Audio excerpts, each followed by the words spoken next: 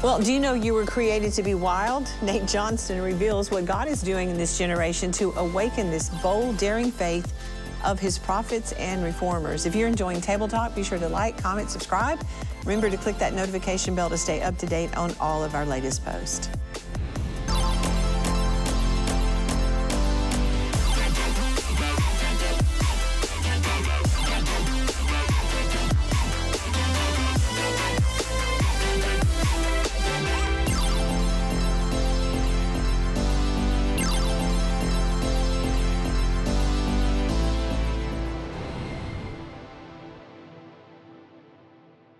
So, what set David apart from the rest of the leaders of Israel? And how was Elijah able to boldly defy and challenge the pagan priest of Baal? And in the wilderness, how did a seemingly uncivilized baptizer become a boisterous voice declaring the arrival of the Messiah? It was their wild adoration and faith in the Lord. And today's guest is here to reveal how we can ignite that in our own lives. But before we get to that, uh, joining me around the table is my beautiful daughter-in-law, Susanna Lamb. How are you? Hello, I'm so happy to be here. Thank you for having me. This book is called The Wild One, so I had to put you on the table for that. You know, it's funny, I actually You're told him... wild one. I actually told him growing up, I felt like John the Baptist who like, loved five-star cuisine. Just a version, so it doesn't fit. But I'll take right, Anna Kendall, how are you? Well, I love the title of the book, so Yeah. I'm really excited about that. and you always have the wildest colors. yes, Yes. we're true wild Yes, we are. here. Yes, and you are too. Yeah, um, dolphins. Um, yes. Sandra, Hey. Dean, how are you? Hey, I'm good. I'm so excited to be here. We are with a wild group oh, already are. this Yes. morning. We are. And another wild one at the table is my beautiful daughter, Rebecca. Hi.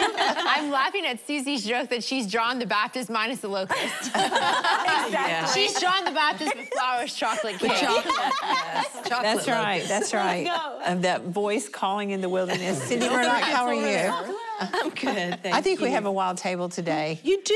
Y'all, y'all are like the two calm ones. Well, I- you know what? y'all are like we the were wild their ones. age, I think we were wilder. We were. Yes, we were. What We're- happened to us? We just we're got a calmer. more calm Yes. wild. You're we, more we just, wise. We, A we, sophisticated wild. But when, when we get together Yes. by ourselves, that's another thing. Okay, these ladies are excited today. Well, he is a prophetic voice with a passion empowering believers in this generation, and he's here to talk about his exciting book, The Wild Ones. Please welcome Nate Johnston. Welcome. Thank you so much for having me. Yeah. You know, every male that will take on all of this estrogen, I have to say you're brave today. Yes. and his book doesn't help. I have a house of girls, my old daughters. So See, there, so you're, you're I'm right good. at home. He's in Right good at home. company. Right at home. Well, you know, throughout the Bible, there are men and women who stood up for truth, who defied social etiquette, that tried to silence him, and who loved God more than what was comfortable. We often feel inspired by them, but how do we tap into that same wild, daring faith? Well, Nate is here to help us answer the questions. And uh, the wild ones, the pioneer call of emerging voices from the wilderness to the front lines, is really a message for this generation. Yes. I do believe they've seen and heard everything, and they really are hungry for truth Yeah. and for Absolutely. courage mm-hmm. and to really assume the role that God has called them to. Do you believe that? Absolutely, there is such a hunger, and I think when you've watched like the movie like Jesus Revolution, there was that line in there about they have a genuine hunger and they're seeking God, but they're finding Him in all the wrong places. Yeah. And I think about this current generation that's rising up, all the areas that they're that they're finding the wrong thing. It's actually showing that they're in pursuit of Him, but they don't know it. Yeah. And so I, I recognize that, and that stood out to me in the movie. I'm like, we we need to be the people that show them who they're. It was like we're directing them in the right pattern, the right place to find Yeah. Him instead of all the counterfeits. Yeah, you know, um, let's go back a little bit to your upbringing Mm-hmm. because some of the things that you went through when you were younger, although difficult, really kind of shaped you for the future. And God always takes those difficult moments and uses them in our life. And that's that that Yeah. that message doesn't preach so well sometimes, but it's absolutely the truth. Yeah, it's that unpopular uh, message that sometimes, in order to do big things for God, you go through these difficult circumstances. And I think my upbringing was definitely Um, a good example of that, I was born into a Christian home. You know, by outward appearances, it was great. I had a mum that loved God. I remember watching her worship God, and I, I, I was like, wow, like we can have a relationship with God like that. I want that. But there was a lot of other things that happened. It was quite a dysfunctional place, abusive place, and um, And she ended up uh, going through a divorce, I guess. yeah, my dad left when I was four. And then your your stepfather. Yeah, it was. It was. He was someone who, who uh, he loved God, but he had a lot of his own things going on, father wounds, and so that, of course, then passed on to me. So my view of God was through the lens of how He fathered me. So I looked at God like He was this evil taskmaster trying to always trip me up, and it, that was my view of God. And then I had to discover Him for myself, and uh, that How'd was. you do that? How'd you get there? Yeah, I went through some rough years in my teens. I was quite demonized. I was this worshiping kid. I was creative. I, I, I just didn't fit the box of the normal church kind of thing. I, it was normal. I was very, very much in bondage. Very much. I could be writing songs and feel like evil presence around me. And it was that worshiper in me, but it was misdirected. It was going the wrong place. You know? Yeah, and you would. Um, when did the turnaround happen? Like where God really Yeah. touched you and you surrendered to the call of God on your life? When I was about 18 years old. I'd already been doing worship in the church at the same time, by the way. And uh, I woke up one morning at about 4 a.m., something choking me. I've never told this story, it's not in the book, but something was choking me, and I knew it was the enemy trying to kill me. And um, I walked out, all I knew was I was, no, there's no air going on. And I walked out the back and I passed out. I went to work that morning, and my friend's mum called me, and she was this crazy, I thought she was a, a nutty Christian, really. and she called me at work and she said, What happened at 4 a.m. this morning? Oh. Tears, like crying. And I said, What do you mean? She said, Holy Spirit said, Get up and pray for that boy. This is life and death. Wow. And I told her, and I'm like a bawling mess on the other end of the phone. She said, Get your heart with the Lord, Nate. I went home, opened up my Bible, it was dusty, got off the shelf, Jeremiah 29 11 it came out. For I know the thoughts and plans towards My you, favorite scripture. plans to prosper you and to harm you. And it just shifted everything.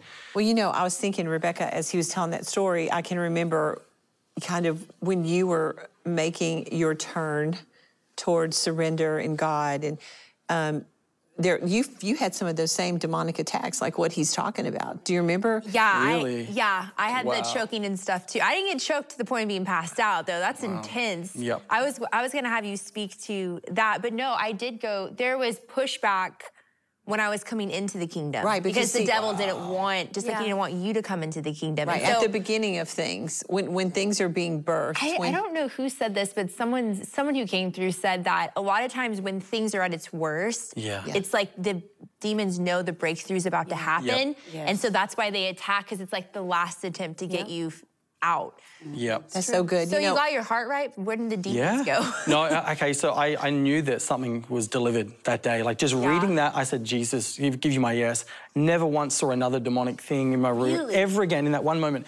But I still had like issues of like nightmares and I I still was like bombarded with fear, unforgiveness plagued my life. So it was a process. It was a process. It was a long process, but everything that you went through, every step was God was there Yeah. teaching you, and you would take all of that and use it to help people today. And Yeah. I know one of the dreams that you had in the book that I really believe that people can relate to today. And and again, if you're that person watching and you you have experienced what you felt like was an attack from the enemy, um, just know that God is greater, number Yeah. one, and that the Word of God is powerful, and that God has a specific plan and purpose. And just like they were talking about, sometimes right before there's a breakthrough, you will have an onslaught of an attack like that because on the other side of it, um, God's going to do something really great in your life. So be encouraged today and don't give up and don't falter, don't fall away.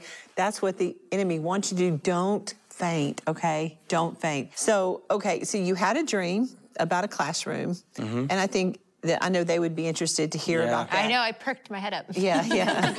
Okay. if she's perked her head up, that means it's interesting. So go ahead. Yeah, so this class, uh, in this dream, it was uh, the middle of 2020. And um, in this dream, I'm teaching at the front of a class, and it was a lot of Gen Z. There's a few other ages, but I knew it was the Lord really hi- highlighting that generation. And the first boy, um, he was there, and I could tell he was demonized. And I look at him, and I can tell it was progressive Christianity. And he yells it out. He's like, I'm progressive Christianity, and I'm here to stay. What, which means it's Christianity that veers away from the Bible. It's it's making it's the me Yeah. it's the me Bible. You know, it's the me Christianity. Yeah. Make it what I want. Put around my Only life. the only, Evolution only Christianary. We're There we evolving to adapt things and try to make it fit or they into our take out words and just say just the words Yeah. of Yeah, Jesus. it's like a apostate. Yes. Yeah. exactly Yeah, apostate. it's for apostasy. sure. It's a false Christianity. Yeah. But they will they will say they're Christian. Exactly. In their mind, it's de- it's deception. They think they are. They think they are. but they've that's taken from the word of and God. And so, what did the Lord say to you? Well, in the dream, I knew I had to go up and just lay hands on him. And he got, he got delivered. He fell on the floor. He was getting delivered of this. It, it really spoke to me that I needed to approach them in love because they don't, you know, but at the same time, not negating that this is a spiritual fight that we need to deal with spiritually. We can't love this thing. We love the person because we don't uh, wrestle flesh and blood. And man, we, we, do we deal with the giants? We have to. What other things did you see in the room other Um, than the From memory, to, I, I remember there being, um, I'm not sure if it was like woke Christianity because that's the same thing, but I remember there being just like, uh, oh, false justice movements, which at the time there were many going around, and it was it's the illusion of God's restoration and justice, but it was the hijack of true justice. Okay. And it was like, you know, it's where we've been seeing this clickbait and, and this kind of virtue signaling over the years. We have to get behind that. Actually, is that true? Does that come from the Lord's heart? Or is that something that's jumping in as a hijack that actually doesn't end in reconciliation, which is- restoration? is what we're seeing. We're seeing that. You know, it's like, oh, we're seeing, well, it's okay. It's justice to let people uh, break into uh, s- stores and steal because they have a need. So it- that's the false hijacking of justice. Yeah. And um, all the different rioting and things that are happening. Yeah, like how saying does it's okay? Exactly. Like how does more division create reconciliation and healing? It doesn't happen. So we need to know and discern the difference between the two. And I think that was just God saying, "Hey, heads up. Next few years, Yeah. it's going to be a lot of this." What would you say to people who are saying, but this is my truth? This is my truth right now. what's because that has come up so much. And you have Christians that are adopting this whole theology and this whole idea, but this is my truth. Like, no, no, no, no. No, there's one truth. One. What would you say to well, those Christians mind, who are my trying truth to is going to end. You're not going to end up in a good place if you follow my truth, That's right. and not his the, truth. the need for righteousness over rightness. That's right. Well, even at its very at its very core, Christian life is you die. It's not about you. Sorry. Exactly. It's not about you. You you co-die with Christ. You can be co-resurrected as something else. I'm sorry, not my truth. You you got nothing to do with this. This is your life in Christ now. So my truth, it's ridiculous. Your book says it's a prophetic survival guide. Yeah.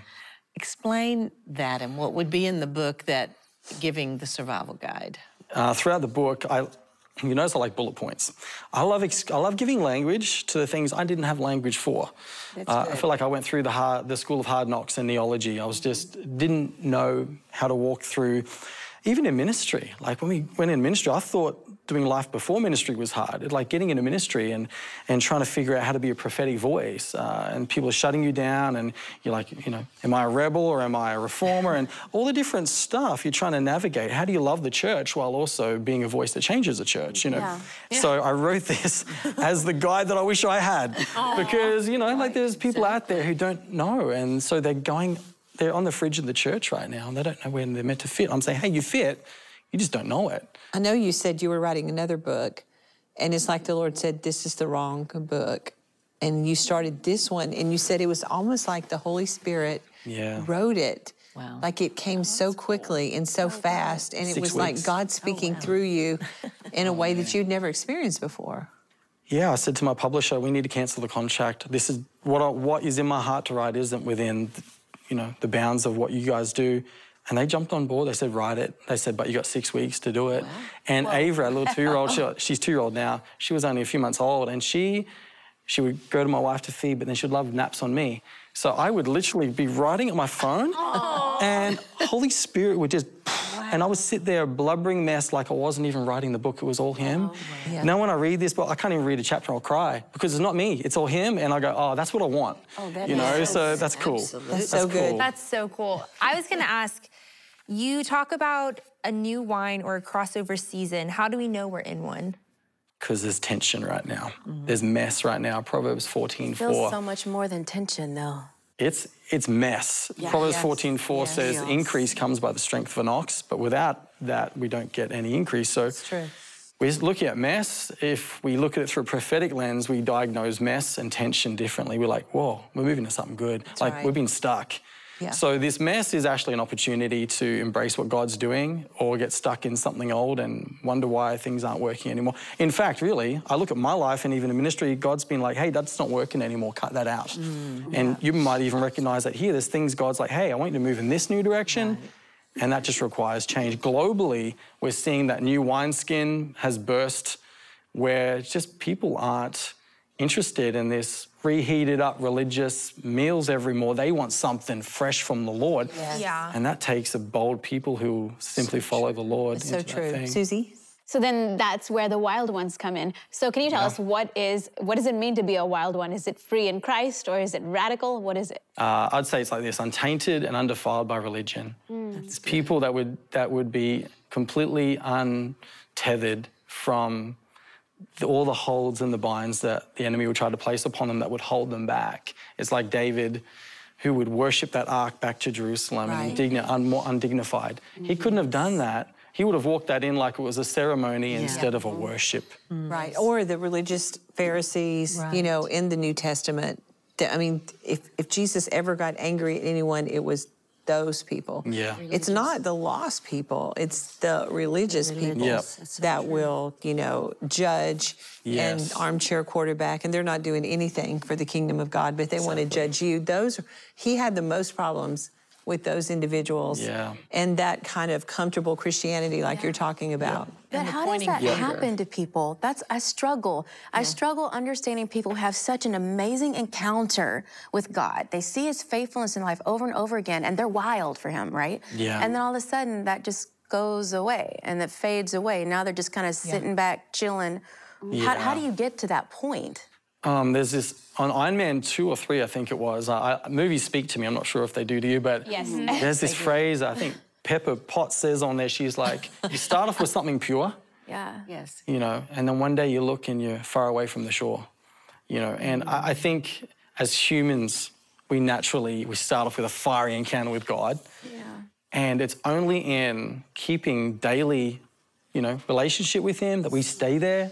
Yes. And look, I can look at my life and I'll be really honest. Like there are times where like I'm like, oh, I'm far from. I'm like I've drifted a bit. Like I need that back. Mm-hmm. Yes. And we need to tend to that. We just, You know, you have to steward it. Yeah. And I think idolatry, I think being too comfortable. Yes. I think starting to disobey when God is telling you something, and so his voice becomes more and more distant. It's good. familiar And I also too. think, Yeah. you know, what you were saying to answer that question is that um, in the church, we have so much unforgiveness. People who think they have forgiven, but they really haven't. Yeah. And it just, it closes the doors, it, it shuts the windows of heaven, the blessing of God in our life. And there's a lot of Christians, you, It becomes a s an attitude of entitlement instead of gratitude and Exactly. thankfulness. And Like, so we just did the forgiveness show on the table, and I got so many amazing emails from people um, saying, Wow, you know, I've been a Christian all these years, but some of the things you talked about really touched my heart. So let's talk about your father wound and okay, and you how did you work through that?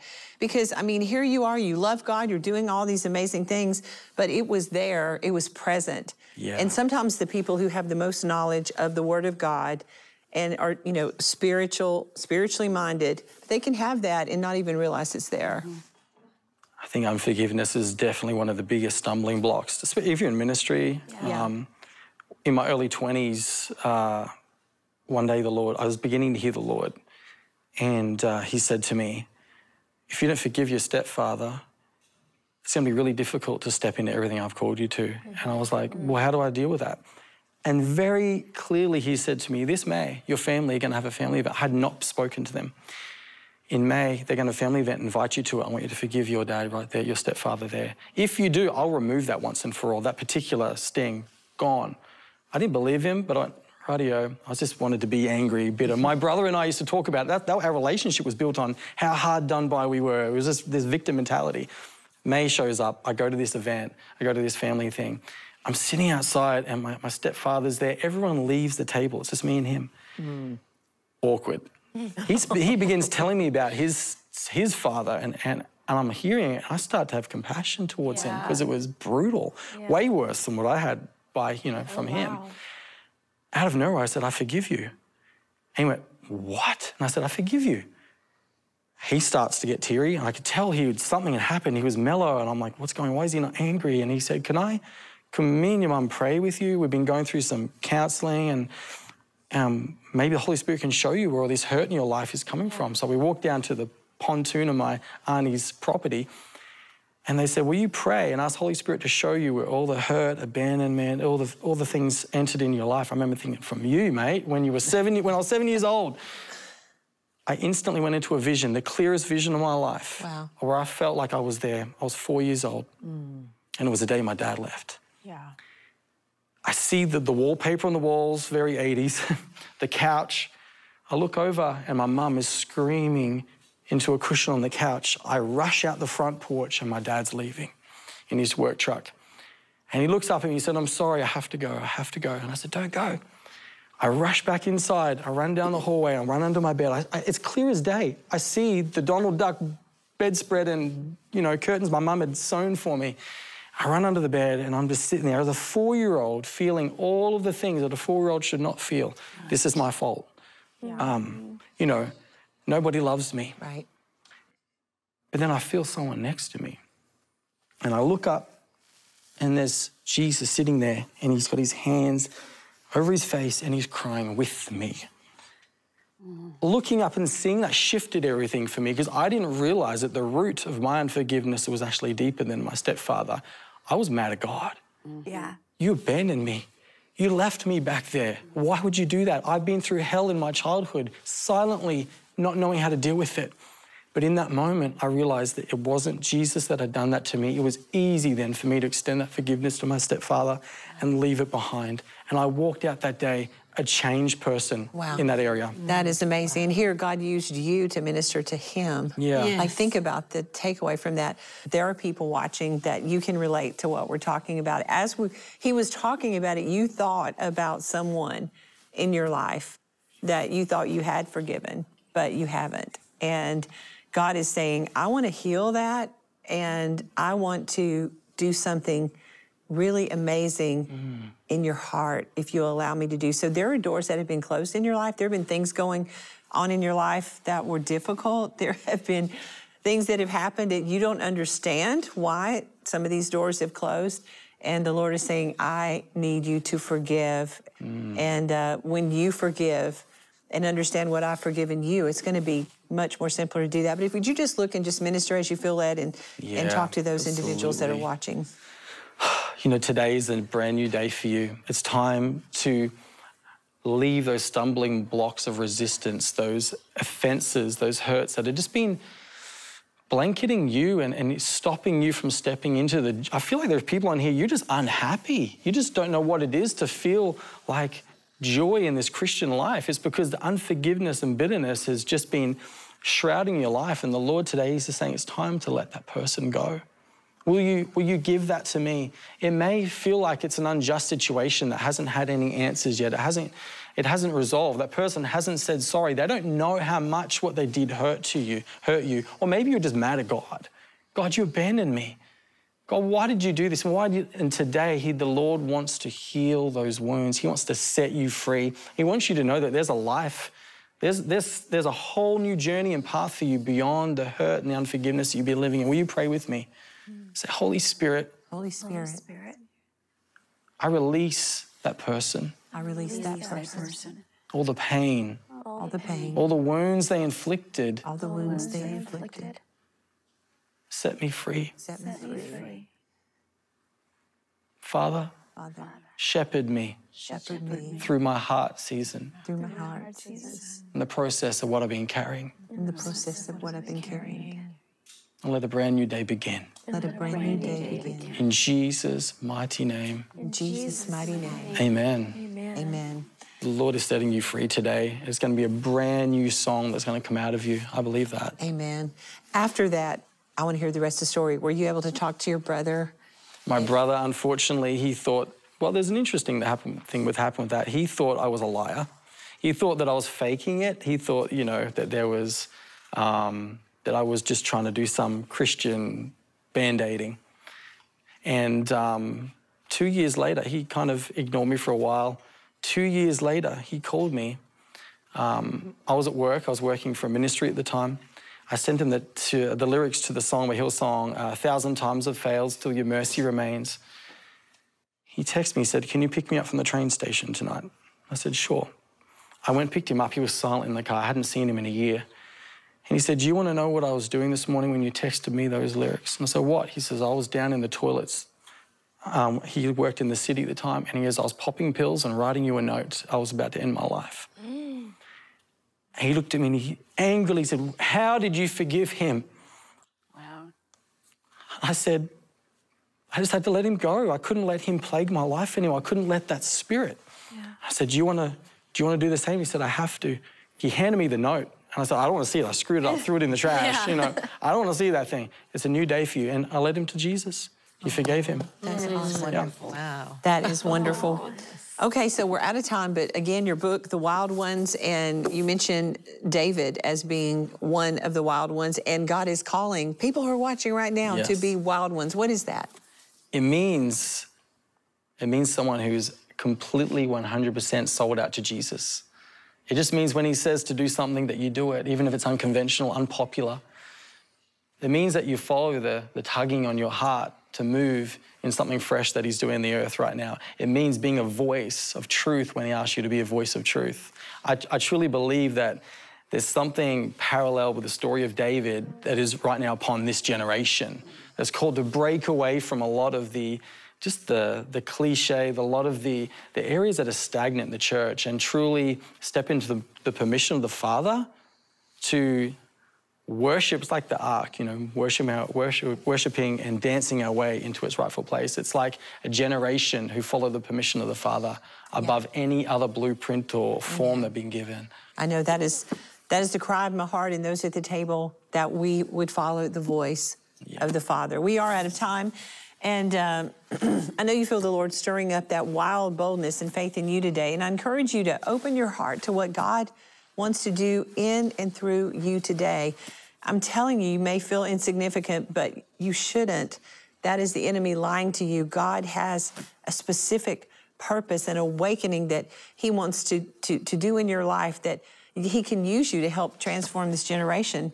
If you feel the Lord stirring your heart today, maybe you'd just like for someone to pray with you. That's why that toll free number is on the screen. We would love to pray with you today, encourage you, and just help you to know that there is big kingdom purpose in your life. And I do believe he's going to do something really powerful and amazing in your life. I want to thank Nate for joining us at the table. Be sure to pick up a copy of his book, The Wild Ones. It's available now.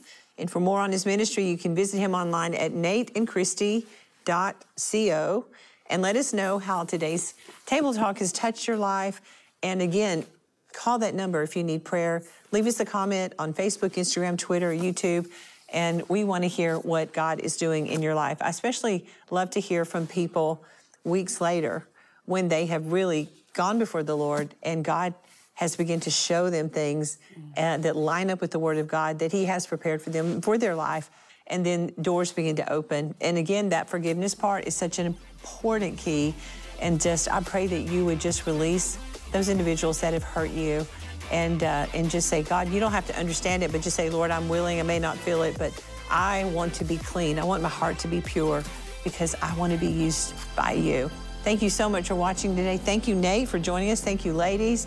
Uh, continue to call today, and we'll see you next time. Bye bye for today.